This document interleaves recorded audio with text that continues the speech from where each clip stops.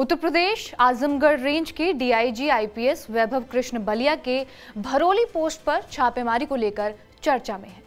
उन्होंने वाराणसी जोन के ADG IPS Piyush Mordia के साथ मिलकर आज सुबह करीब चार बजे छापेमारी की कार्रवाई की, जिस दौरान अवैध रूप से वसूली करते हुए तीन पुलिसकर्मियों को गिरफ़्तार किया गया।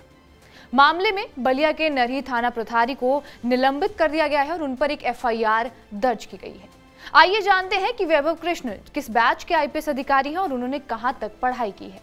आईपीएस वैभव कृष्ण की नियुक्ति पहले गौतम बुद्ध नगर ज़िले में थी। उन्हें एसएससी के पद पर तैनात किया गया था। उस समय भी वो कानून व्यवस्था का जायजा लेने के लिए रात में अचानक से सड़कों पर निकल जाते थे और सुरक्षा व्यवस्था में कमी पाए जाने पर संबंधित पुलिसकर्मियों पर कार्रवाई भी करते थे। अब उन्होंने छापेमारी क्यों की उसका भी कारण जान लीजिए।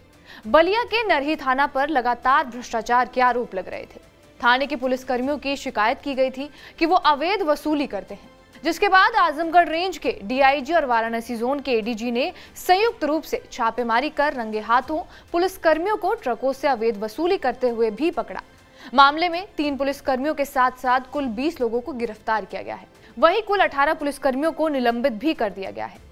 Vaibhav Krishna 2010 batch UP cadre के आईपीएस अधिकारी हैं और वो उत्तर प्रदेश के बागपत ज़िले के रहने वाले हैं। उनके पिता का नाम डॉक्टर के के शर्मा है और उन्होंने आईआईटी रुड़की से मैकेनिकल इंजीनियरिंग से बीटेक की पढ़ाई की है।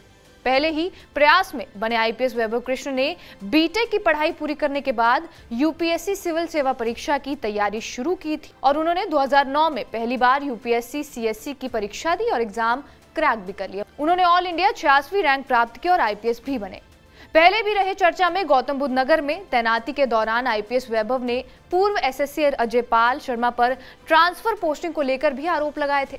वहीं एक गोपनीय रिपोर्ट लीक होने और एक अश्लील वीडियो वायरल होने के बाद आईपीएस वैभव को निलंबित कर दिया गया था। चौदह महीने बाद उन्हें 5 मार्च 2021 को बहाल किया गया था। बहरहाल, आपका इस वीडियो पर क्या कुछ कहना है, हमें कॉमेंट बॉक्स में ज़रूर बताएँ। बाकी देश और दुनिया की तमाम बड़ी खबरों के लिए बने रहे हमारे साथ टीवी नाइन डिजिटल पर।